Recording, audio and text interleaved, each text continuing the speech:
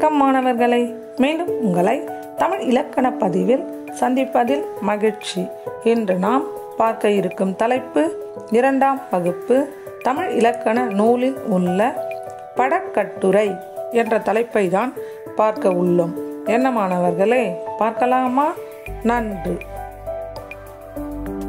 படக்கட்டுரை என்பதன் விளக்கம் அதாவது கொடுக்கப்பட்டிருக்கும் படத்தை பற்றிய தகவல்களை கூறுவதைத்தான் படக்கட்டுரை என்கிறோம். ஆம் மாணவர்களே நமக்கு கொடுக்கப்பட்டிருக்கும் முதல் படத்தை கவனியுங்கள். இப்படத்தை பார்த்து கேட்கப்பட்டிருக்கும் கோடிட்ட இடத்திற்கு கொடுக்கப்பட்டிருக்கும் குறிப்புகளை பயன்படுத்தி பதிலளிக்க வேண்டும். என்ன மாணவர்களே அளிக்கலாமா? நன்று. ஆம்.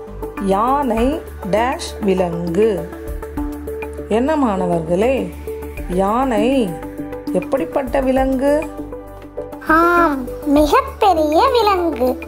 நன்று சிறப்பாக கூறினீர்கள்.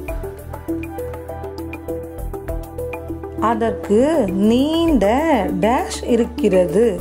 என்ன மாணவர்களே யானைக்கு நீளமாக இருக்கும் உறுப்பு எது? ஆம். நீண்ட தும்பிக்கை. நன்று சிறப்பாக கூறினீர்கள். அடுத்ததாக அதற்கு அழகிய டேஷ் உள்ளன. ஆம் மாணவர்களே அதற்கு அழகாக இருக்கும் உறுப்பு என்ன என்று கூறுங்கள். தந்தங்கள். நன்று மாணவர்களே மிகச் சிறப்பாக கூறினீர்கள். அடுத்ததாக அது தன் பெரிய காதுகளை அசைப்பது டேஷ் இருக்கும்.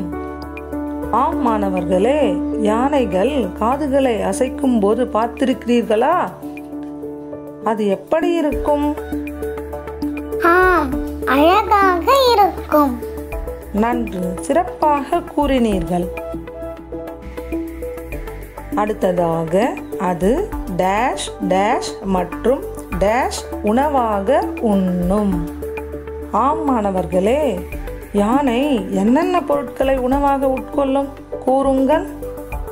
ஆம் கரும்பு தேங்காய் மூங்கில் ஆகிய பொருட்களை உணவாக உண்ணும். நன்று மாணவர்களே மிகச் சிறப்பாக கூறினீர்கள். இரண்டாவதாக கொடுக்கப்பட்டிருக்கும் படத்தை பாருங்கள். இது என்ன படம்? ஆம் பசு. ஆம் மாணவர்களே பசுவை பற்றிய தகவல்களை கேட்கப்பட்டிருக்கும் கோடிட்ட இடத்தில் கொடுக்கப்பட்டிருக்கும் குறிப்புகளை பயன்படுத்தி எழுதலாமா? நன்று. ஆம் பசு ஒரு டேஷ் விலங்கு. என்ன மாணவர்களே பசு என்ன விலங்கு? கூறுங்கள்.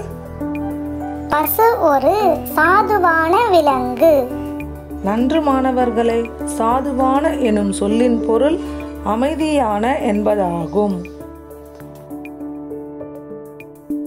அடுத்ததாக பசு வீட்டில் வளரும். பசுவின் பால் டேஷ் இருக்கும். ஆம் மாணவர்களே பசுவின் பால் எப்படி இருக்கும்? பசுவின் பால் சுவையாக இருக்கும். நன்று மாணவர்களே மிகச் சிறப்பாக கூறினீர்கள். பசுவை மக்கள் தெய்வமாக வணங்குவார்கள். பசு டேஷ் மற்றும் டேஷ் உண்ணும். ஆம் மாணவர்களே பசு என்னென்ன பொருட்களை உண்ணும்? எங்கே கூறுங்கள். பசு புல் மற்றும் வைக்கோல் உண்ணும். நன்று மாணவர்களே மிக சிறப்பாக பதில் கூறினீர்கள். என்ன மாணவர்களே படக்கட்டுரை என்ற தலைப்பை குறித்து இக்காணொளியில் நன்கு தெரிந்து கொண்டீர்கள். அடுத்த காணொளியில் வேறொரு தலைப்புடன் சந்திக்கலாம். நன்றி மாணவர்களே.